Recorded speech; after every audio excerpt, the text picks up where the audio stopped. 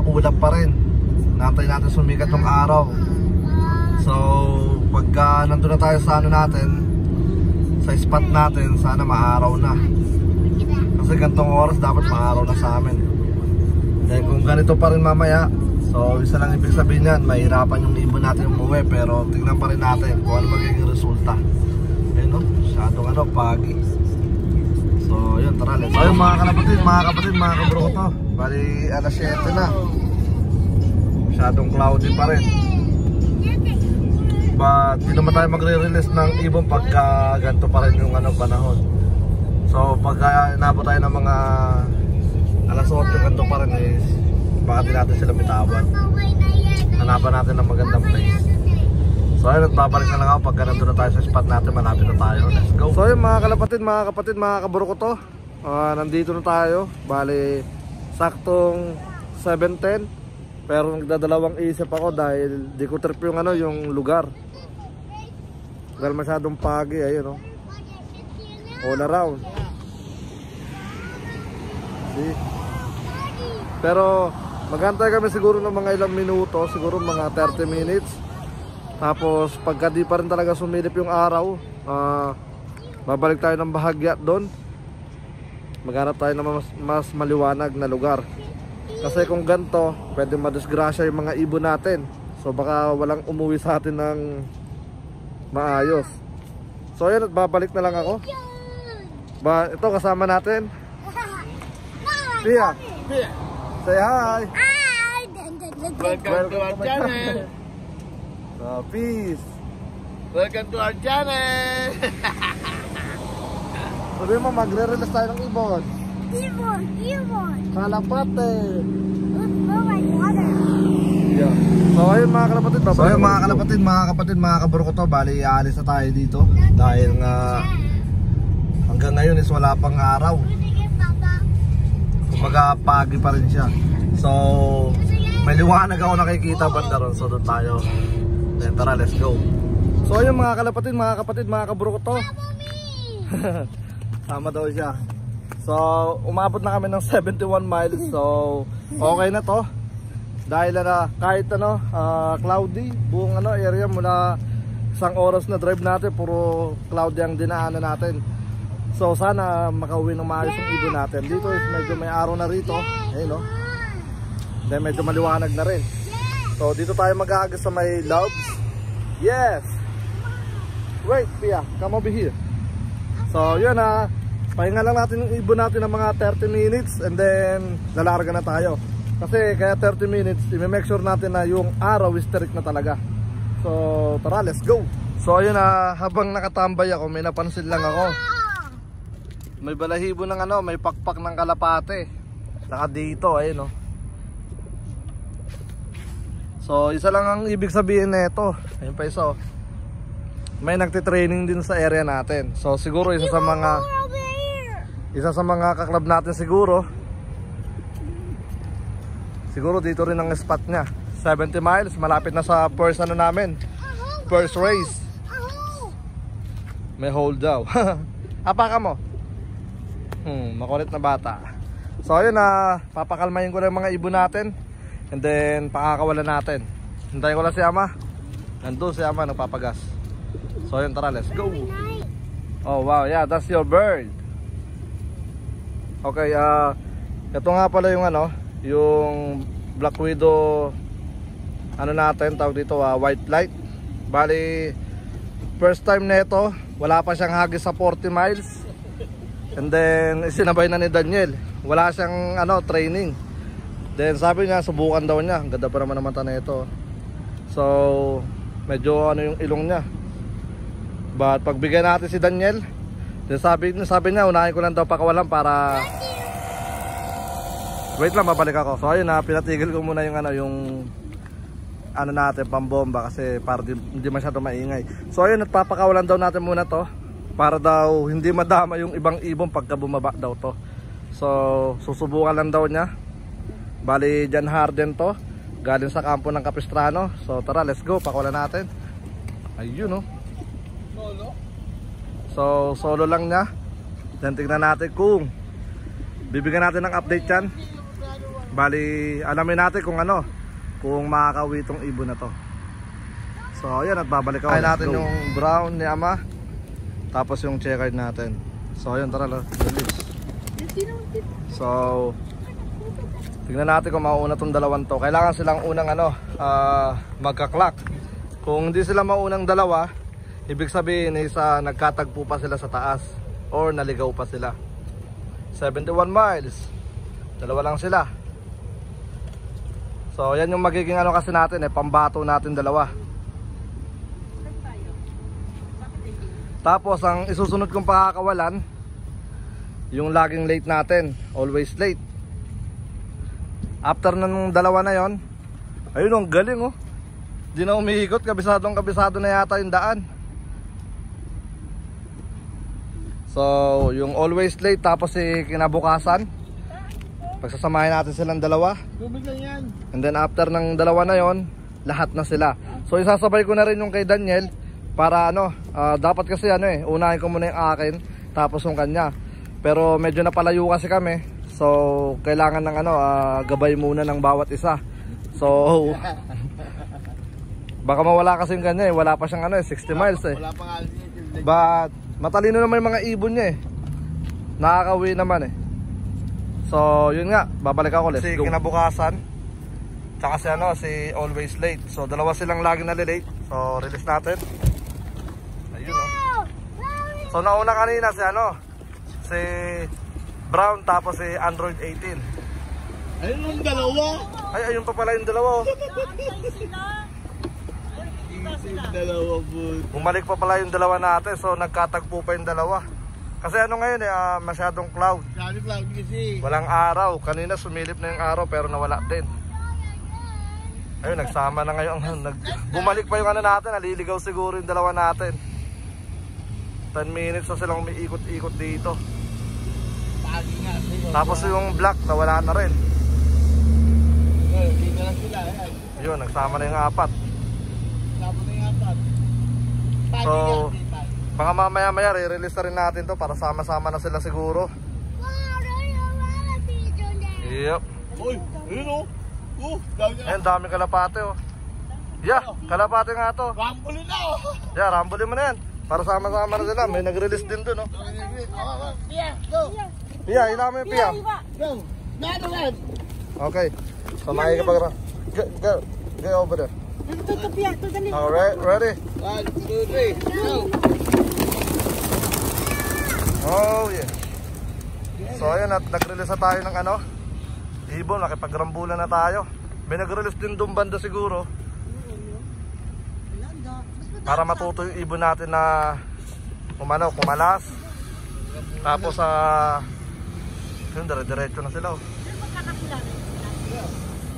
So, kaya natin ginagawa yun para matuto ng kumalas yung mga ibon natin dahil malapit na rin naman yung race natin. 5 weeks. 100 miles sa first race natin. So, good luck. Cloudy. Tapos ano, pagi pa kanina. Ayun oh. Nasaan yung apat? Wala na rin yung apat eh. Ayun, pinasok nila yung ano, yung ulap. Yep, dire-diretso sila oh. Tapos may nag-release na may kabilang kanto lang. Nirambol na. so ayun, ah, babalik ako. So ayun mga kalapatid, mga kapatid, mga kaburo ko to. Bali, on the way home na tayo. And then ang kinagusto ko lang sa ano natin, sa mga ibon natin, basta sama-sama sila, di na umiikot. For 23 miles, continue straight. So ayun nga, ah, pagka ano sila, tawag dito ah, sama-sama, wala na talagang umiikot pero kung dalawa-dalawa umiikot pa. So alamin natin yan pagka maganda yung panahon, doon natin gagawin yung ano, tutuloy natin yung dalawa-dalawa. Kasi ngayon is ano talaga, madilim. So wag naman sanang umulan, sana ano lang, cloudy lang talaga. wala eh, ganun talaga eh. Ah, ito lang yung oras at panahon natin mag-training. Saturday, Sunday. And then dapat ang plano natin today, ah, 65 miles tapos 80 miles sana. Pero nangyari 71 miles today. And then pagka maganda yung pauwi natin, bali magano tayo, 80 or 90 miles. So yun at good luck sa mga ibon natin and then balitaan ko kayo. Ang release natin is 755. So 755 yung release natin. So yung dalawang nauna tsaka yung dalawa pa, isasabay na natin sa ano yun, 755 dahil nagsama-sama naman sila. Then yun nga, bali hanggang dito na lang muna. Sa bahay na tayo magkita. Let's go. Good luck. So yun mga kalapatid, mga kapatid, mga kaburo ko to. Bali 9.30. Isang oras ano na sila. Isang oras mahigit. Pero wala pa rito yung ibon natin. Isang patunay lang na medyo nahirapan sila sa biyahe. But 71 miles. Maya maya siguro nandito na yan. Then update ko kayo kaagad.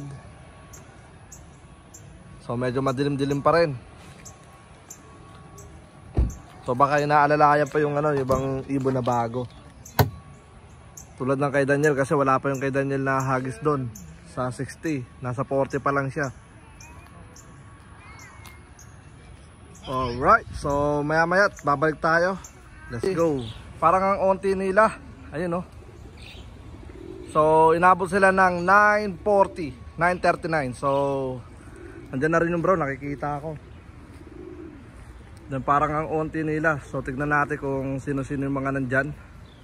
And then sino-sino yung mga naiwan. And then sana lahat sila makauwi. Yun lang. Ayun oh. Alright. So si Bulag yung dumapo na sa may bubong natin. Then dito tayo si Sipol. Pababaya lang natin kung sino yung bababa kagad. Papasok kayo na may mga matataas pa oh. Wow, ganda ng tupi oh. Wow. Oh, nandito yung Black Widow ni ano ni tawag dito, Black Widow ni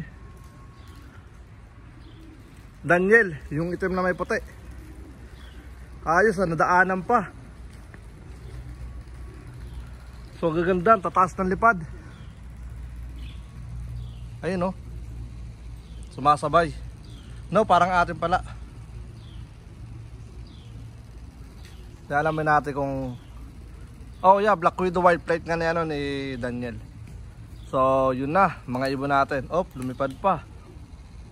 Nabitin pa. So, mapapansin natin sa ibon natin. Oh, sinong unang clock? Tignan natin kung sino yan. Ayun na, nagdadatingan yung mga ibon natin. Ayos. Alright, so babalik na lang ako. Let's go pagka nandyan yung mga ibon natin. Oh, sino? Oh, si ano? 07. Yup, 07. Yun nga lang, may nauna sa kanyang isa. Naging second place si 07. yup, second place si 07 natin. Alright, so ayun mga kalapatid, mga kapatid, mga kabro ko to. Bali, ready ko lang ang mga ano nila, pagkain para pagpasok nila kakain na sila. Alright, ayun na yung mga ibon natin, nagbababaan na rin. Yung brown ni ama. Alright, let's go. Ayun, ang bilis nila magbabaan, no. I think siya always nandyan.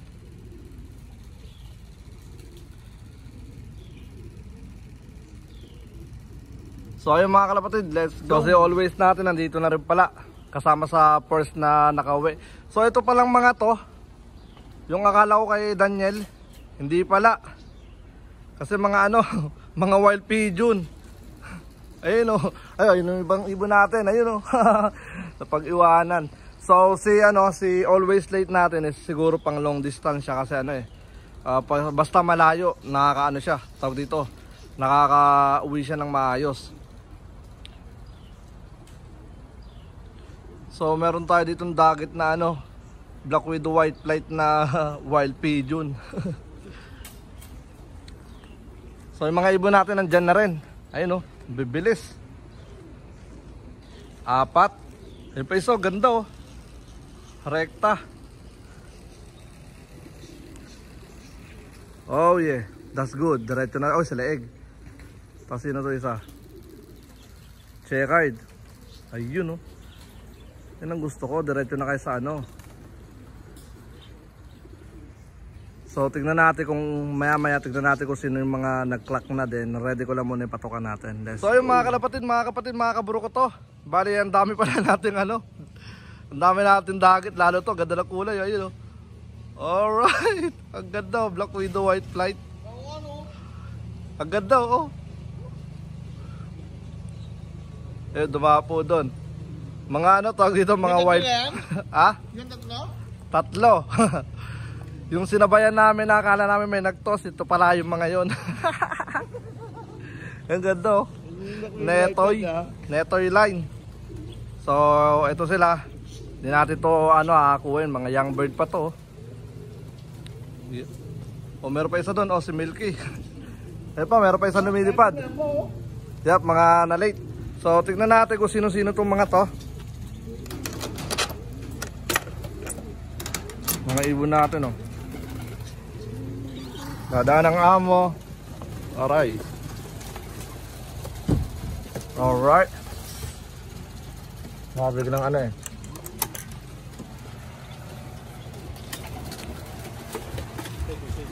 So meron na tayong 25 tapos may dalawa pa yata sa labas.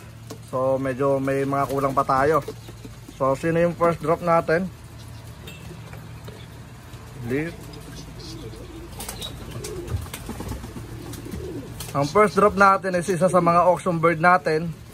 Tapos nag-second natin si 07. So it's not bad.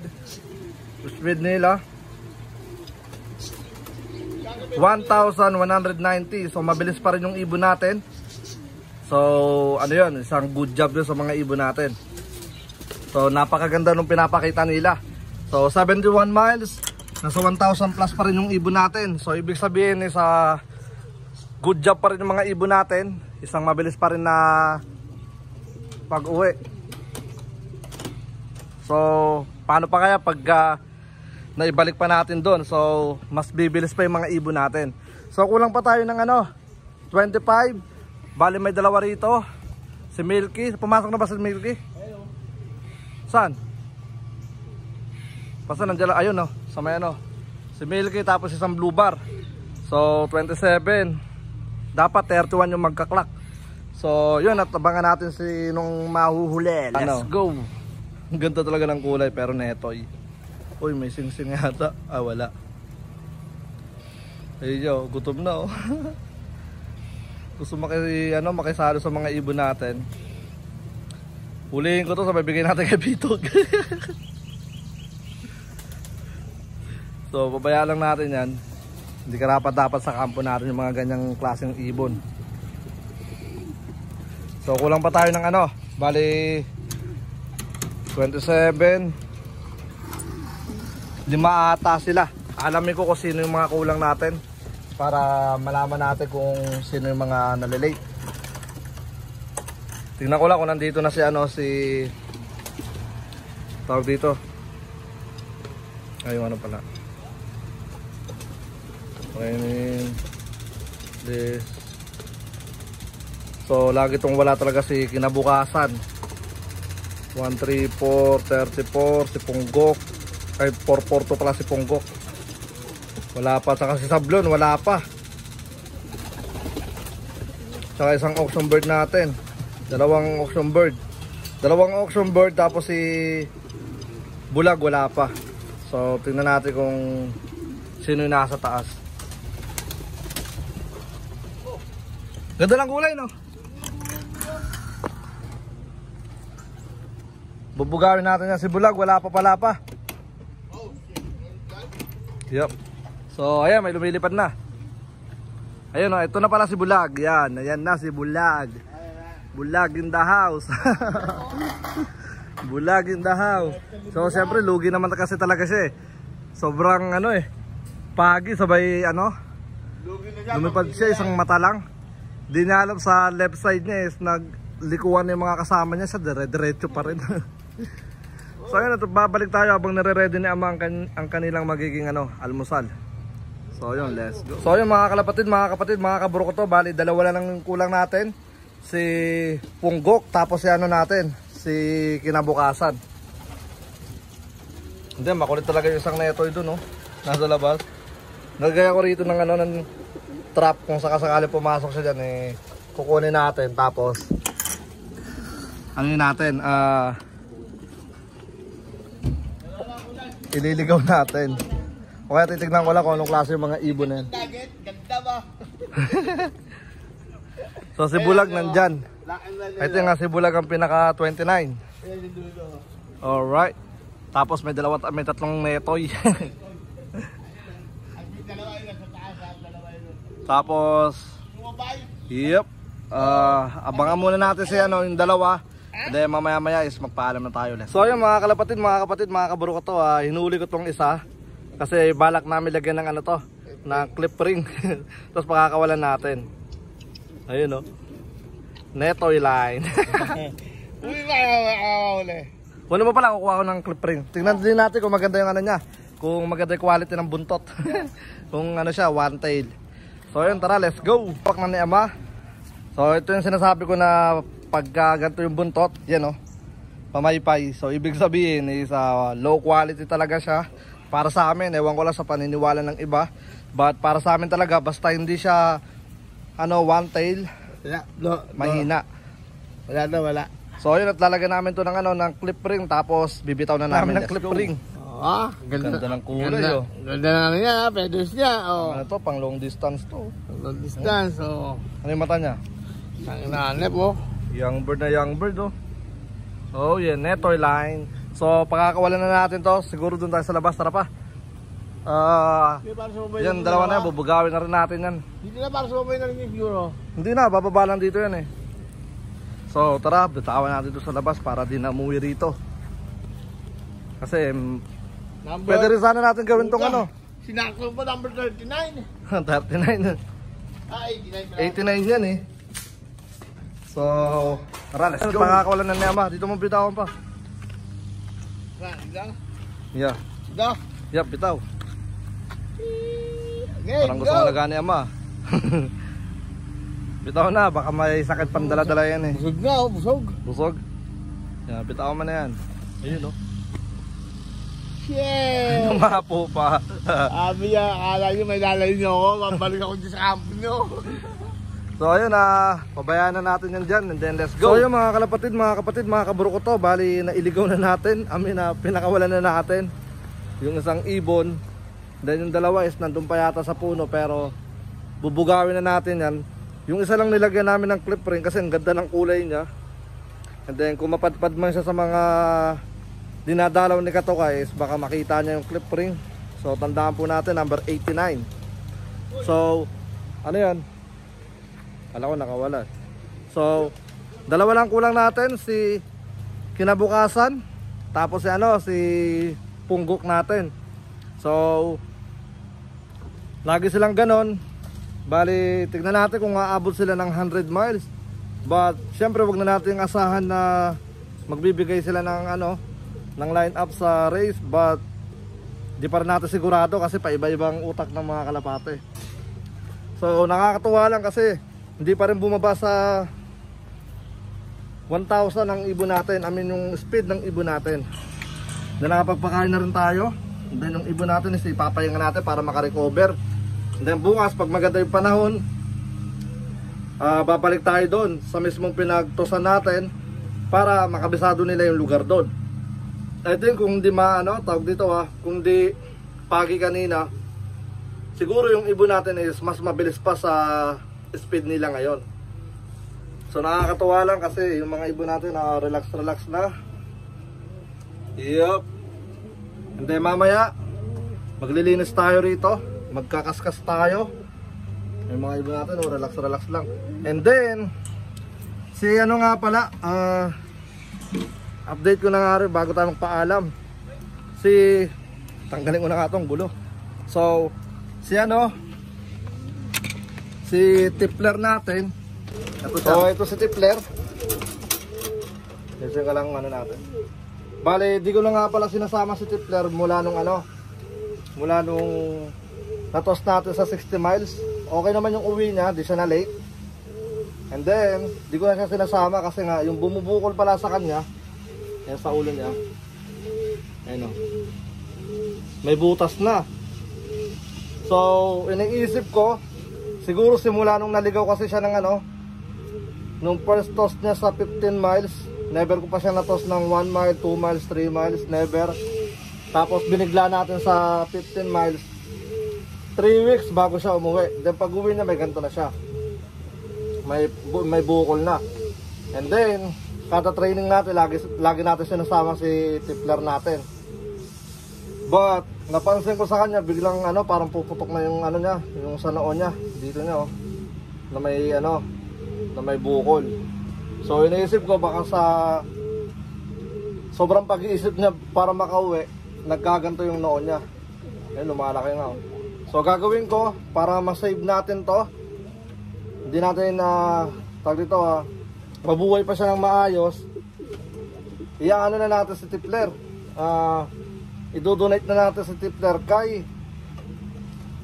kay Bitug. Kumbaga bibigay na natin to.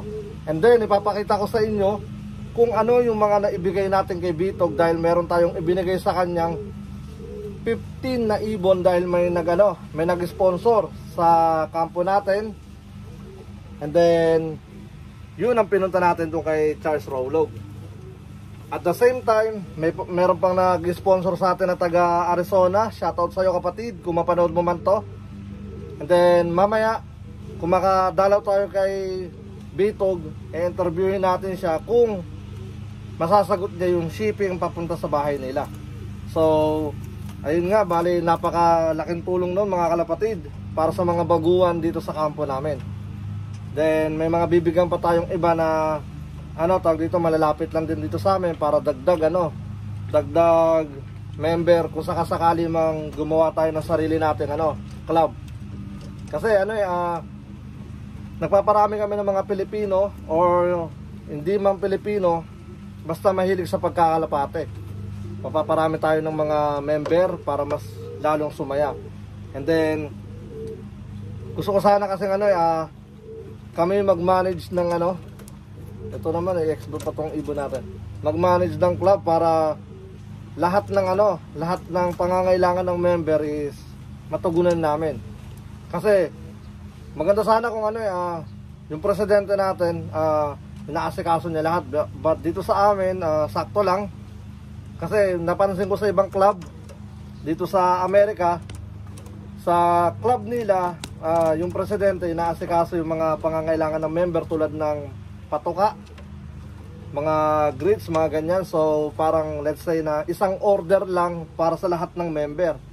Kumbaga, order kami sa isang lugar, do, doon, kunwari, doon sa store na pinagbibilang ko, order kami doon ng isang truck, kunwari ganun ha, kasi pag marami na kayo, ganun talaga. Ibabagsak kayo dito sa Pensacola, at least yung shipping, is hati-hati kami, kung meron man, and then sa mga pangangailangan na iba pa. And then magkakaroon din kami ng Style Philippines na merong club ano, ah, training.